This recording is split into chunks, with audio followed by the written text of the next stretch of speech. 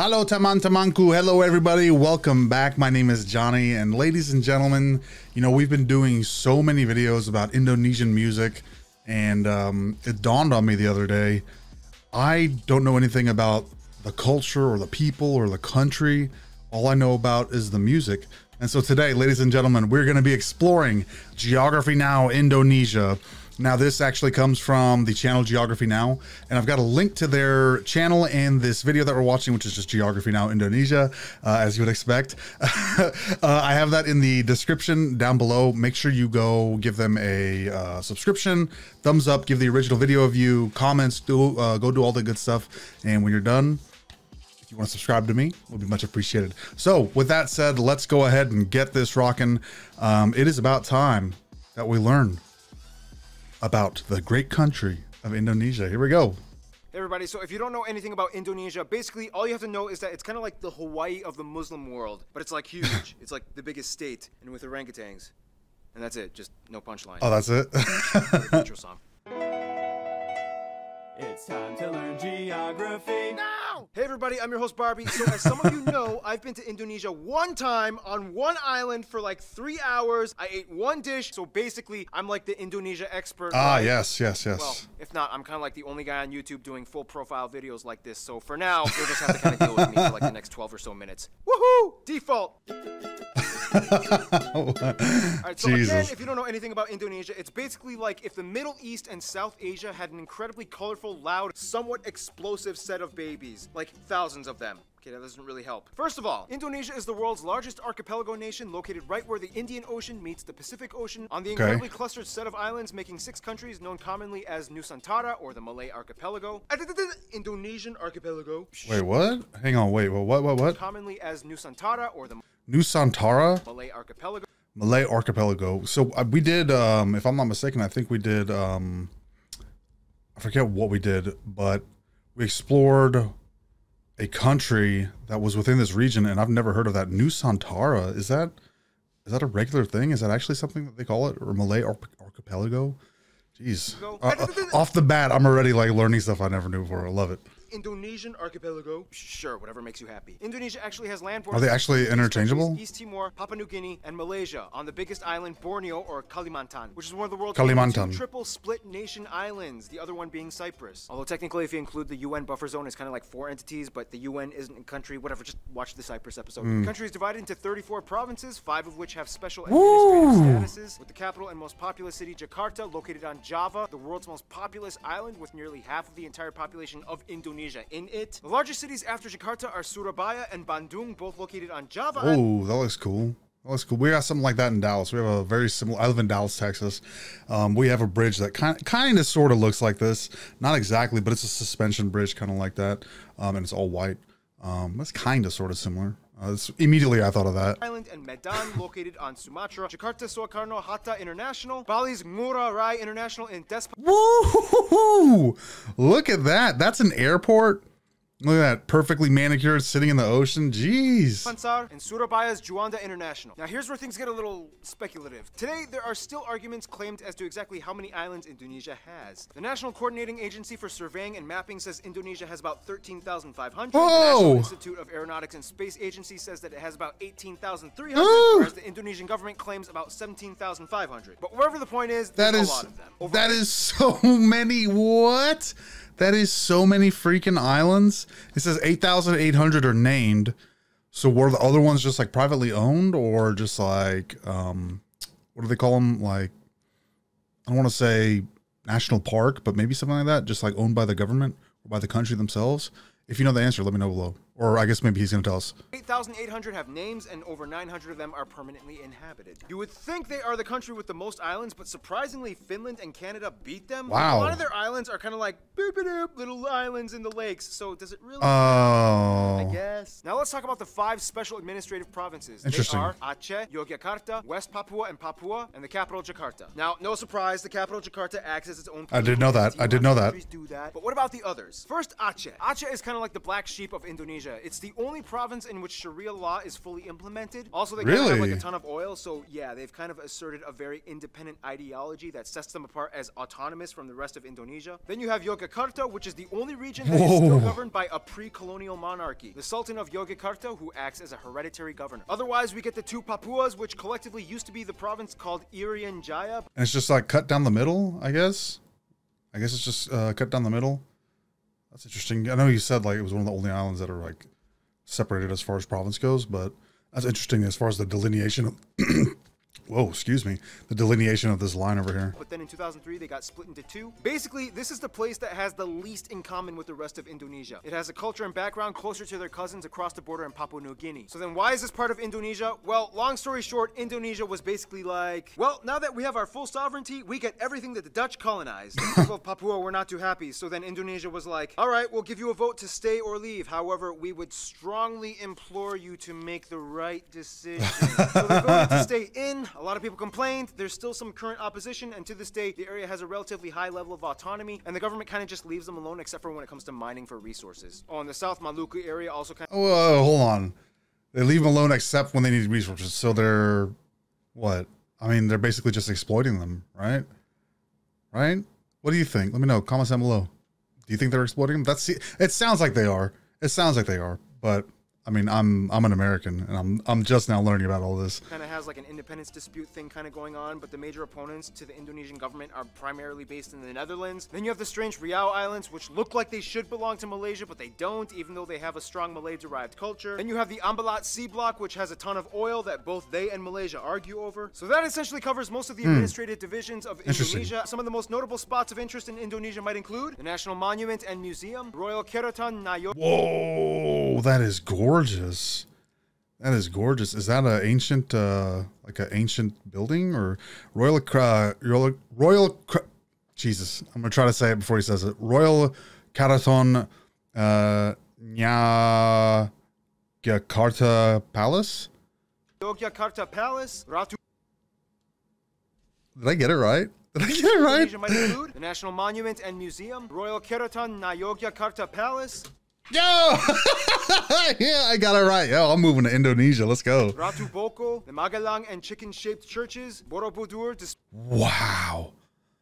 Wow, look at that. This might I mean there's obviously some HDR and some really high contrast here.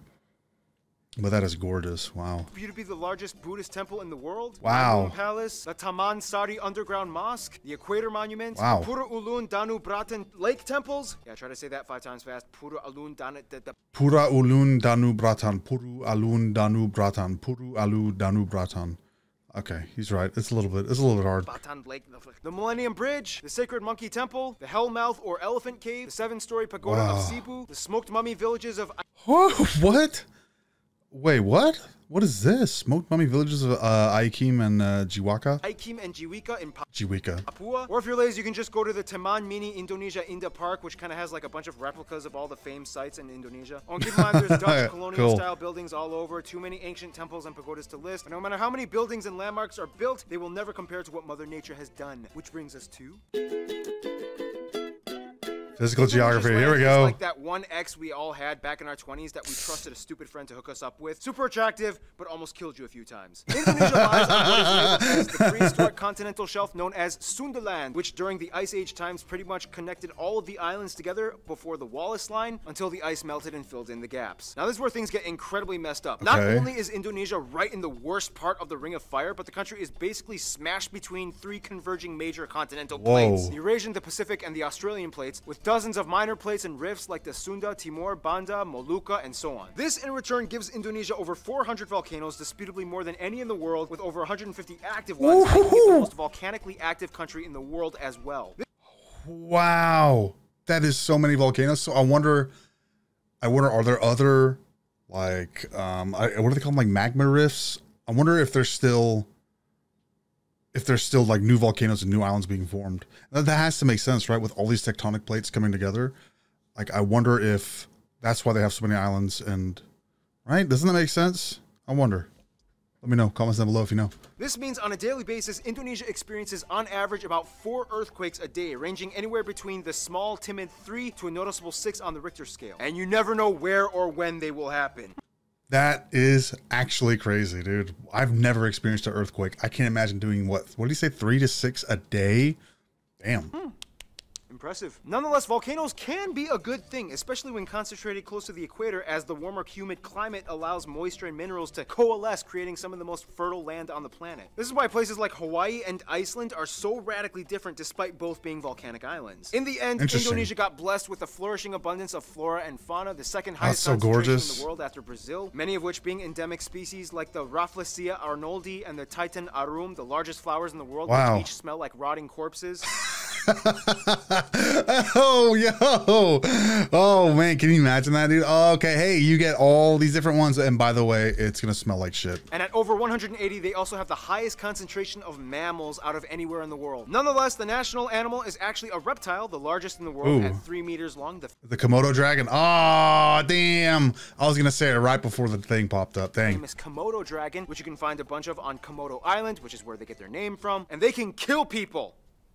Just a heads up. And the surprisingly not national animal, even though everybody knows and loves them, the only great ape in Asia, orangutans, are only found on this archipelago as well. Really? By the way, they look docile and Really? quiet, but orangutans can rip off your arm if you anger them.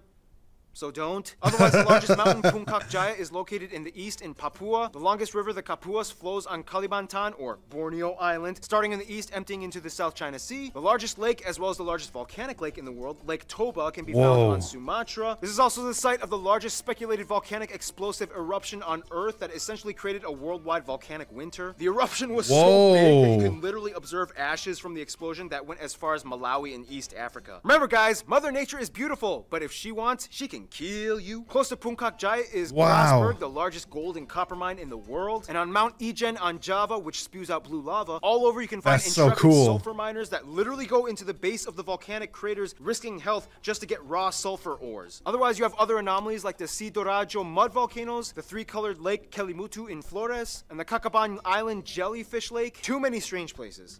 dude like i just have to say so i mean i've experienced i've gone to a few different places in the world but i've primarily been in america primarily been in texas. And this stuff looks so alien to me but it looks like the appeal of it is indescribable.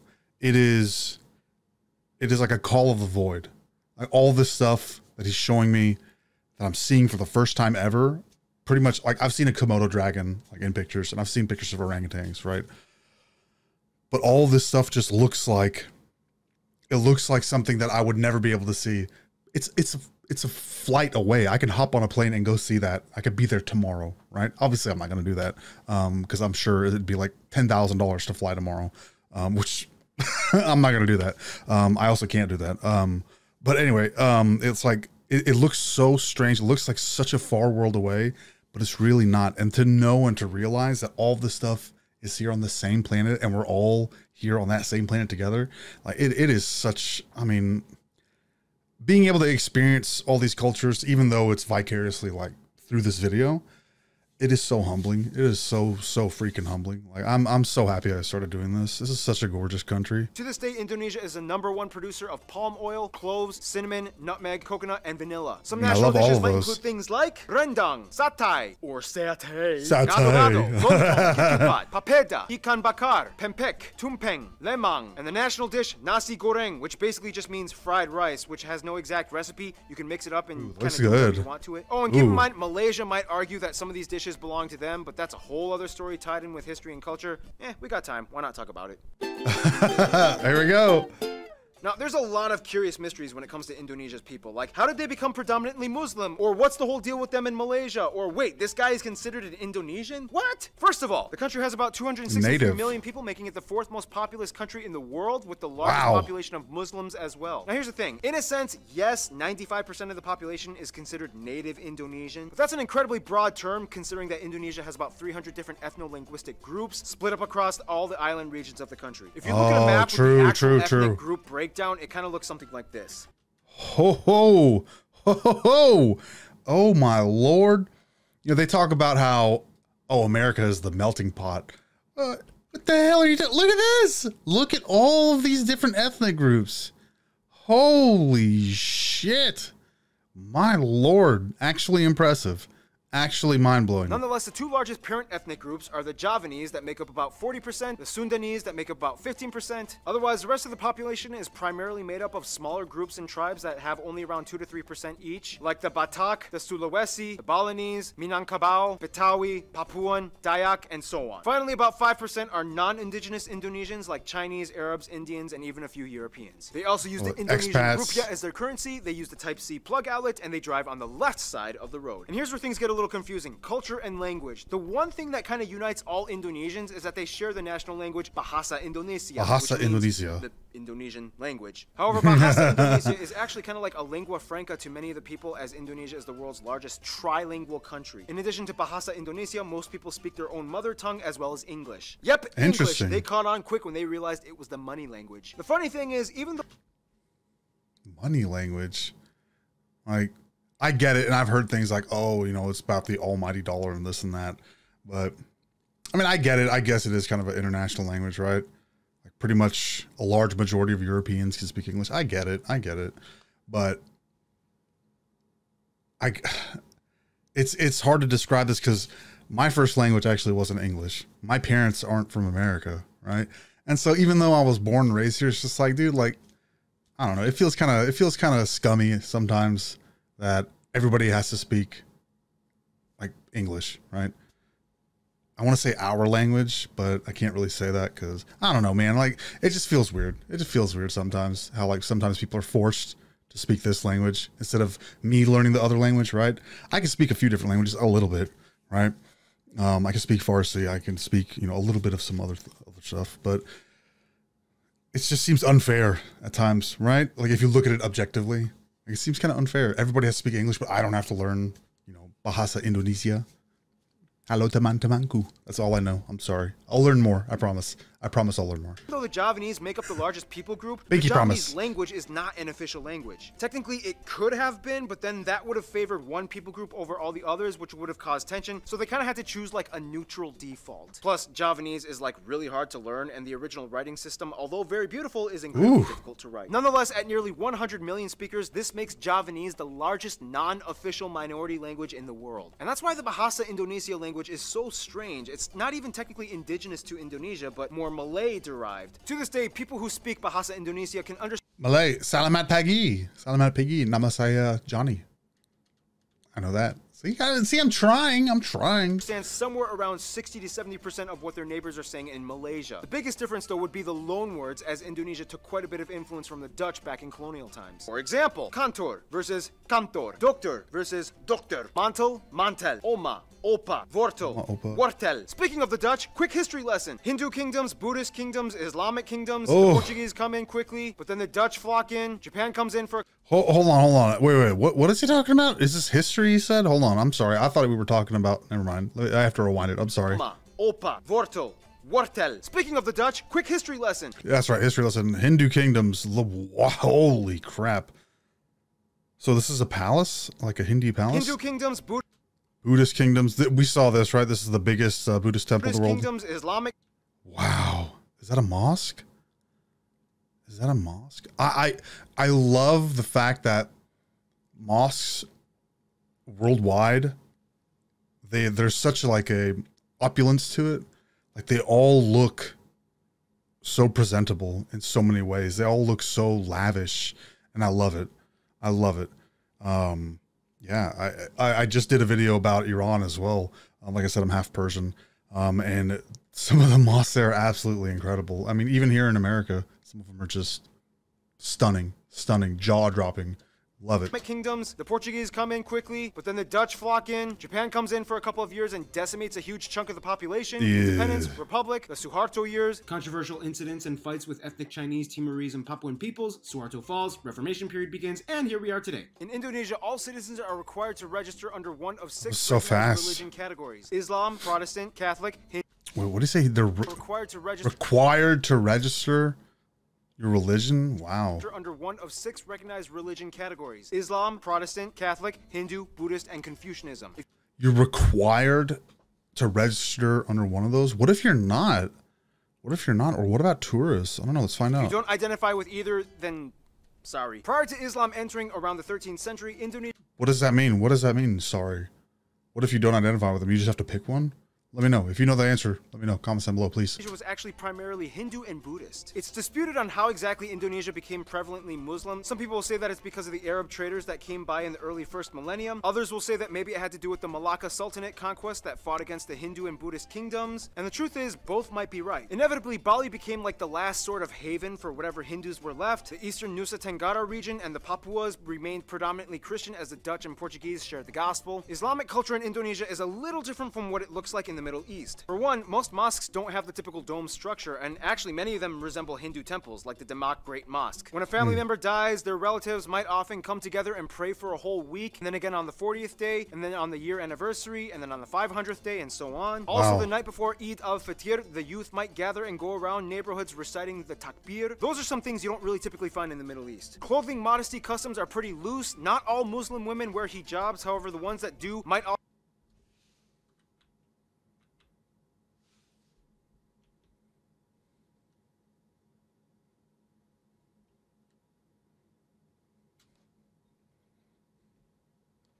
do might also complement it with Western clothing, like branded t-shirts with skin-tight sleeves and jeans. when I was in Indonesia, I saw a hijab-wearing woman with short sleeves and capri pants exposing her calves. I was like, can they do that? Now, in terms of culture, again, it depends on where you are, and many indigenous peoples still follow ancient traditions. Everything from the Minangkabau candle dance to the gamelan players of Yogyakarta. That looks so awesome, dude. What is it called? Yo- uh, Yogyakarta Gamelan instrument players? I gotta check that out. That looks sweet. Wayang Javanese shadow puppetry, Balinese festival, Woohoo! Look at these colors. Holy shit. Look at this. I love it. I love bright colors. I love it so much. Like blue and pink always look good together. Look at the little spatterings of pink everywhere. Oh man, I love it. Hell yeah. Sumatran Pencak Silat martial art tournaments, Kenyah motif paintings of the Kalimantan tribes, the deadly Pasola game played by Sumba peoples, Karabeng cow racing on Madura Look at his eyes.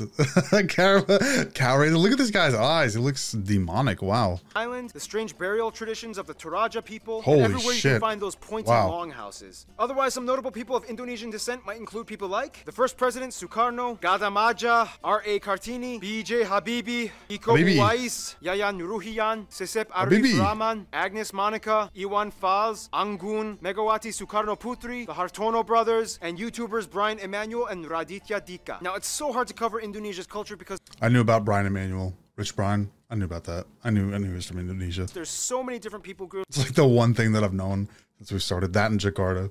Jesus. each with their own cultures. It's insanely colorful and rich. I wish we could cover more, but we gotta move on to some diplomatics, shall we?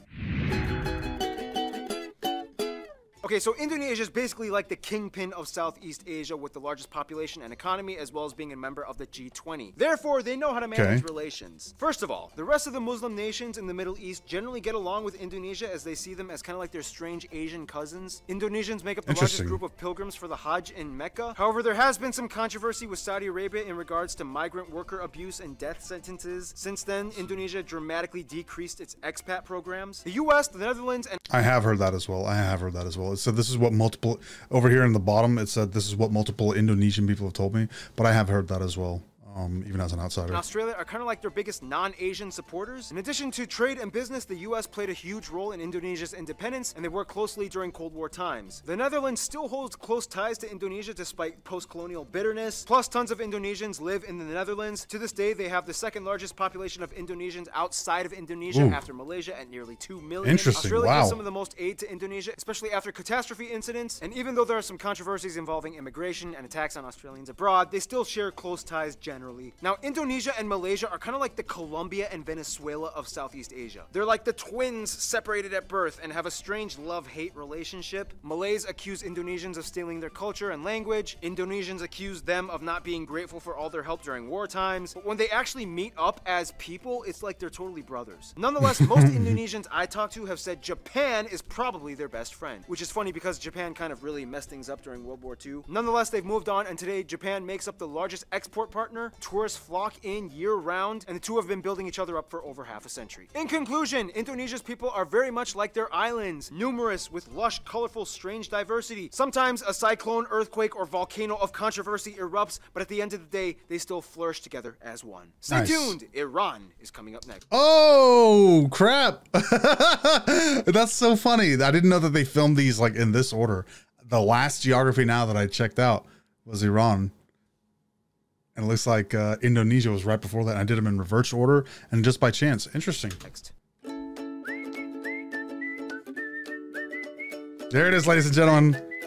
There it is. Geography now.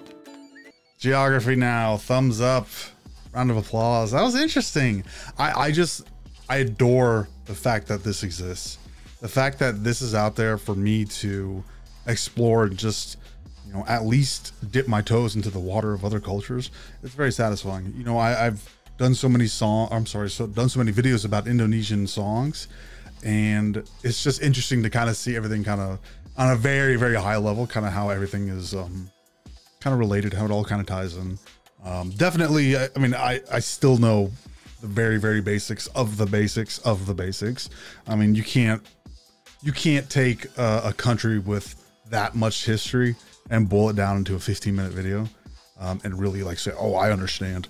Um, but it's nice to kind of get to know um, the culture, the people, the country, um, just everything. It's very nice. I like it. Uh, let me know what y'all thought. Tell me what you thought. Uh, make sure you drop a comment down below. Um, and if you have any answers to the questions that I asked during the video, don't forget to drop those uh, down below as well. Um, and if you like the video, don't forget to say, uh, or don't forget if, okay, let's try that again.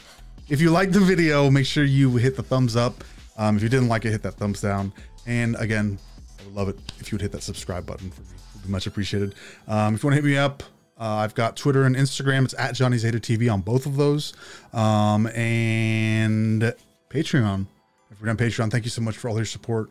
The bottom of my heart means the world to me. Uh, if you want to join Patreon, it's as little as one dollar a month, and you get a bunch of good stuff with that. Um, but I think that's it for me. Um, yeah, I think that's it. I appreciate it. Thank you so much again for watching.